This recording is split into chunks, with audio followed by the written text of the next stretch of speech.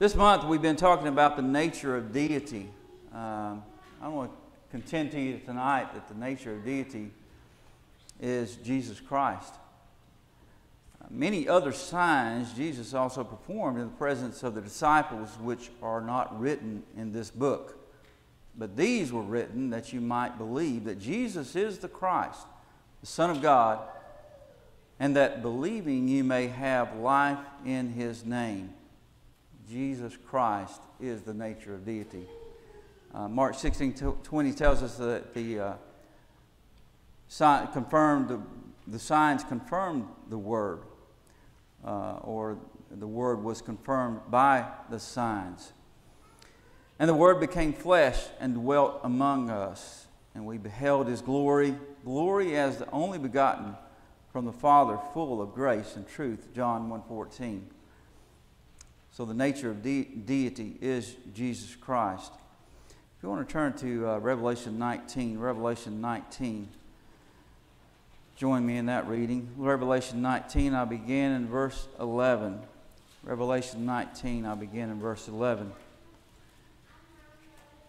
And I saw heaven opened, and behold, a white horse, and he who sat upon it is called faithful and true, and in righteousness he judges and wages war. And his eyes are a flame of fire, and upon his head are many diadems.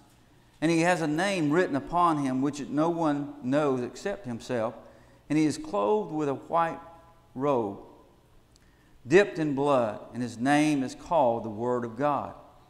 And the armies which are in heaven, clothed in fine linen, white and clean, were following him on white horses. And from his mouth comes a sharp sword, so that with it he may smite the nations. And he will rule them with a rod of iron. And he treads the winepress of the uh, fierce wrath of God, the Almighty. And on his robe and on his thigh he has a name written King of Kings and Lord of Lords. The nature of deity is Jesus Christ. Uh, so, as we talk about the nature of deity, I want us to keep in mind that it is none other than Jesus Christ our Lord. Let's turn to Ephesians chapter 1. The book of Ephesians, chapter 1. Ephesians chapter 1, I begin in verse 3. Ephesians chapter 1 verse 3. Blessed be the, uh, the God and Father of our Lord Jesus Christ, who has blessed us with every spiritual blessing in the heaven, heavenly places in Christ, just as He chose us in Him before the foundation of the world, that we should be holy and blameless before Him in love he predestined us to adoption as sons through Jesus Christ to Himself, according to the kind intention of His will, to the praise of the glory of His grace, which He freely bestowed on us in the Beloved. In Him we have redemption through His blood, the forgiveness, forgiveness of our trespasses, according to the riches of His grace, which He lavished upon us in all wisdom and insight he made known to us the mystery of His will according to His kind intention, which He purposed in Him, with a view to an administration suitable to the fullness of the times, that is, the summing up of all things in Christ. Things in the heavens and things upon the earth in Him.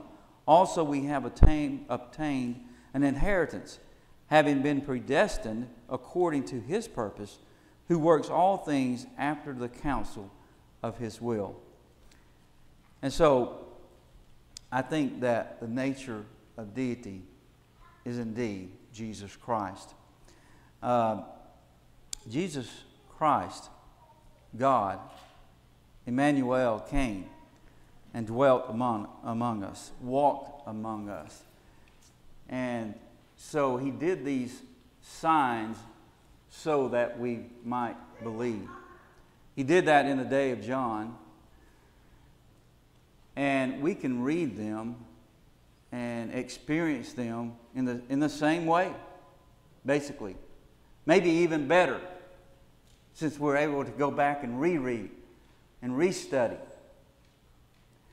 But in that day, those people that saw those signs, some believed, most didn't. In this day, when we can read and reread and restudy these signs, some believe, most don't. And so I think we have to look at the nature of deity simply as Jesus Christ our Lord. And that He can save us.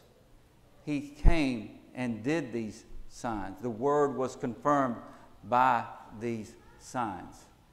We have that with us tonight God's Word that we can look at and we can see the signs that He did so that we might believe. And so, uh, as we come to the conclusion uh, of this short talk tonight, uh, you may have something in your life that you may uh, need to confess tonight. You may have something uh, in your life that tells you that you need to come to Him, that you need to make that good confession tonight, that you need to be buried in baptism with Him into uh, the blood of Christ, and then raised to walk as a new creature on this earth. So if you have a need to come, if you have a need to come to the gospel call tonight, we bid you come as we stand and sing.